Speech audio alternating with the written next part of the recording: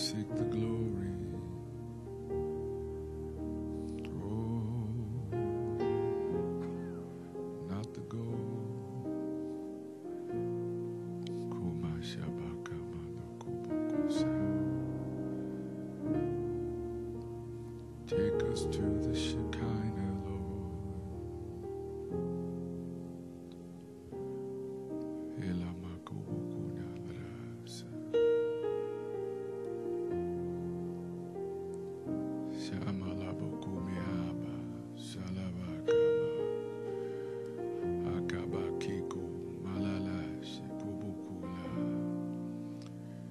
Thank you for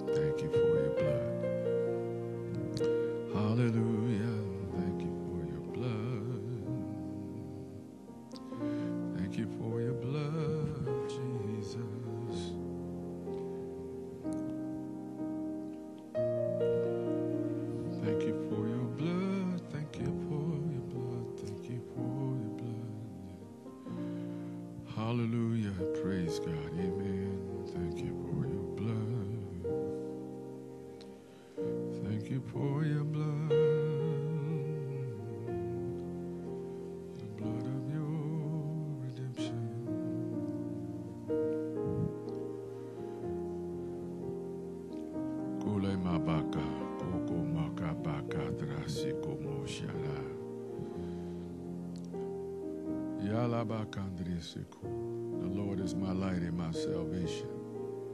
Whom shall I fear? Mm.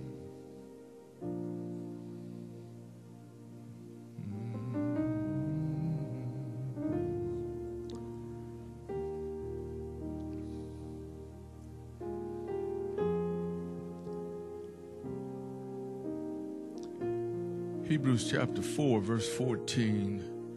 Hebrews 4 and 14.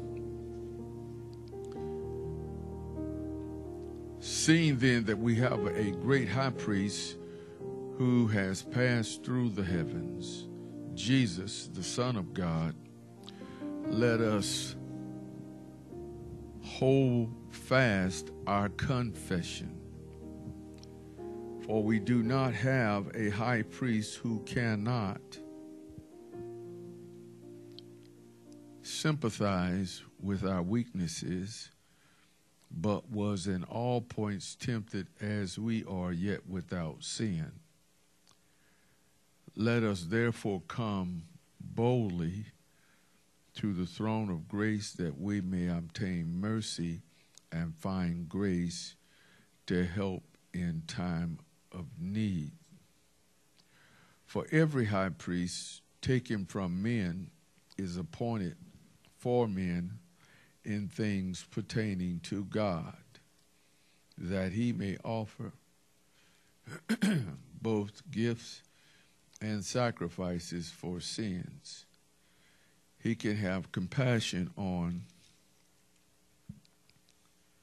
those who are ignorant and going astray, since he himself is also subject to weakness. Because of this, he is required, as for the people, so also for himself to offer sacrifices for sin. And no man taketh this honor to himself, but he who is called by God, just as Aaron was. So also Christ did not glorify himself to become high priest, but it was he who said to him, You are my son. Today I have begotten you.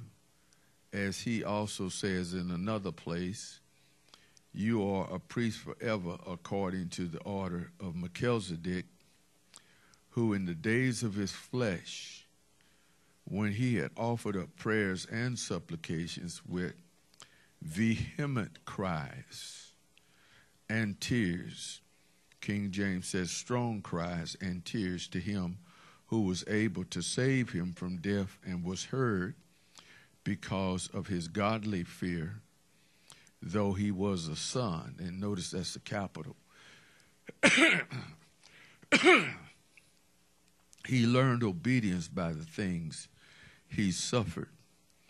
And having been perfected, he became the author of eternal salvation to all who obey him, called by God as high priest according to the order of Melchizedek, of whom we have much to say and hard to explain, since you have become dull of hearing. For though by this time you ought to be teachers, you need someone to teach you again the first principles of the oracles of God, and you have become need of milk and not solid food. For everyone who partakes only of milk is unskilled in the word of righteousness, for he is a babe.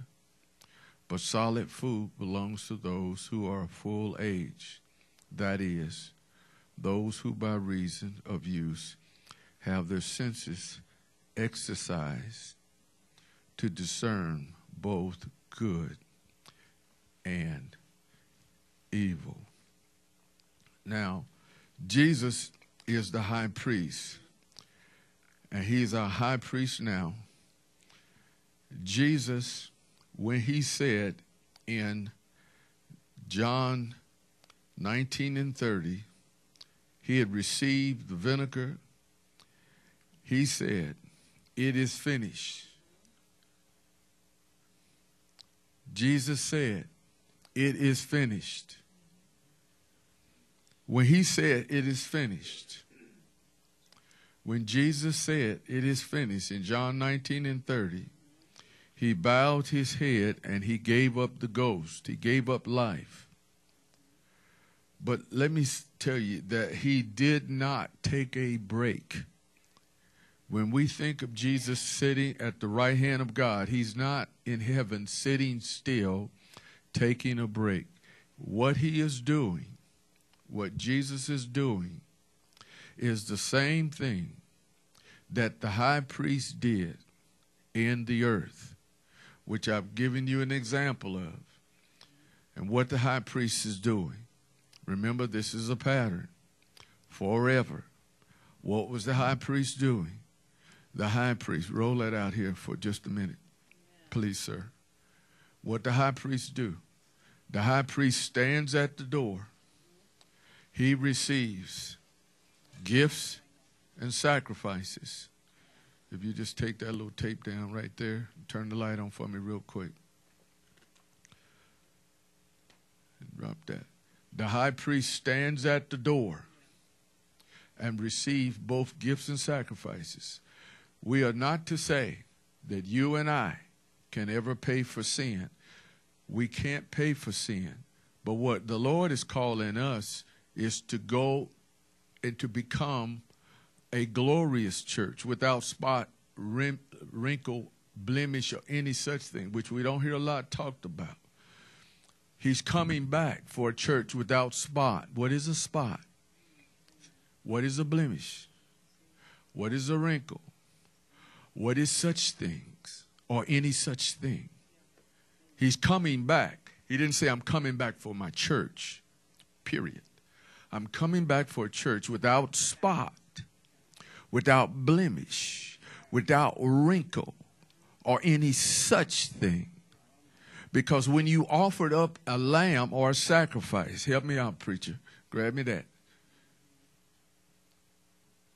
When you brought your sacrifice to the Lord, thank you, you had to bring him a sacrifice without spot, without blemish, without wrinkle, or any such thing. You could not come. That's what you could not come with a sacrifice that was blemished because he was teaching. When I come to receive my church, I'm coming back. Now, for so many years, we've been told he's just coming back for a church. He coming back for a church. So he didn't care because he loved me so much, he don't care. I'm here to refute that. That we got to be covered with the blood. The, the, the sacrifice had to be without spot, without blemish, without wrinkle. The priest, take this, son. The, the blemish, I mean, the, the, the, uh, the, the sacrifice had to be examined at the door by the priest, just like right now they're looking over the red heifer and they can't find a good one. And he had to look it over. He didn't just say, okay, thank you, Brother Steve. We'll, we'll take it. We're so desperate here at the Hebrew Tabernacle. We'll take it because, well, we just got to have members. Like we Gentile do. Oh, we just so glad you came. Just so we say we got a big old mega church. He didn't care about no mega church. This is about God. They didn't care. It wasn't that attitude. And that's what, you see, that attitude got into the Gentile church. Oh, we just, they need y'all. That priest's job was to stand there and examine that sacrifice. How would you like to be that guy? Uh-uh. Uh, Hebrew Stevie, take that back. Somebody had to do that. So, what I'm saying is that Jesus is that person in heaven now that is saying, don't bring that. The Holy Spirit is saying that. He's rejecting a lot of what we are throwing up Hail Mary saying, here, take this. And it ain't working. And so what we do is we turn on each other because the half-hearted stuff we throw at God don't work. It don't work in our relationships. It don't work in our church. And God don't return the anointing in place of it. That priest's job was to stand there and say, this, this goat or this bullock that you offering, it ain't no good. Got three legs, Steve. Got one eye. One of the ears ain't proper. Look like it's a retarded goat. Something wrong with it. Where's the tail? Well, it's the best I had, like we do in our church. Uh, God, you can't judge. It's the best I got. I'm sorry. You got to take that back. So Jesus was that high priest. And he is that high priest right now and in heaven. He ain't just sitting there running angels all over glory, bring me a drink. He's sitting there doing the same thing. When we say make an intercession, that's what he's doing. He's sitting as the high priest. He's the high priest, but he's in heaven. He's relocated. When he says, I go to prepare a place for you, that place is being prepared for you in intercession. You're the one bringing the building blocks, and the building blocks is the sacrifices that you're making down here. If you're bringing him uh, a little sacrifice, that's what it is. He's keeping it in heaven where moth and corruption can't take it. Amen. But you're the one bringing the building blocks. He ain't up there. He building me a mansion over there. He, he ain't building you no mansion. Mansion means dwelling place. And the ain't mansion as in what you think down here. The dwelling place is if you bring him a little bit of your life, you can be saved, yes, so as by fire, but that's all you're going to have. See? So Jesus is the high priest up in heaven, and he's the one still that helps us to get into the greater glory of God. See, this ain't about whether I go to church anymore, about whether I'm saved. It's about getting into the glorious place where God wants to unlock to you the secrets of the kingdom. And most folk don't care about that. But mediocrity is going to knock you out. Amen. So, uh, intercession means to come or meet a person or a cause,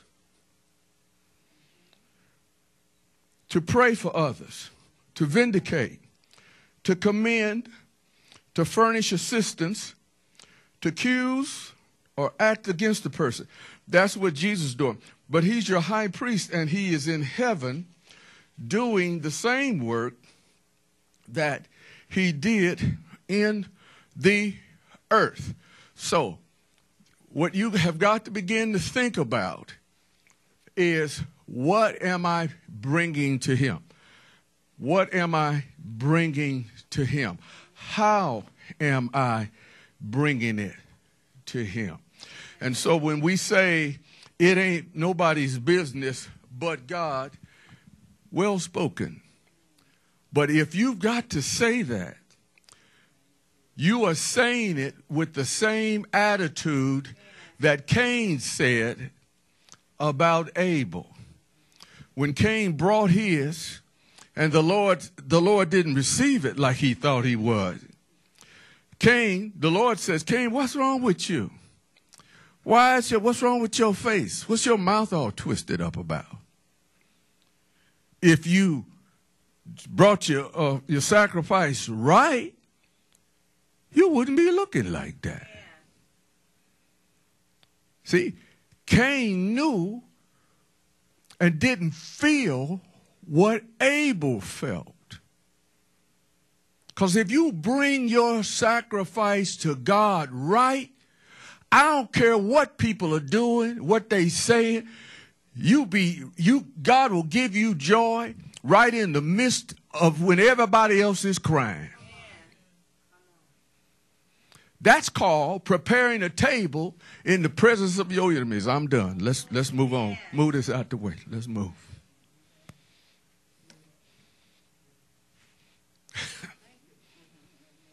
That's why he asked Cain, why you why you wroth, man? Why you angry? Because you've paid more attention to Abel. When you bring yours right, you know God is paying attention to you. You ain't worried about what other folks are saying, what they thinking, because you too busy dancing. All right, let's move. Let me get out the way.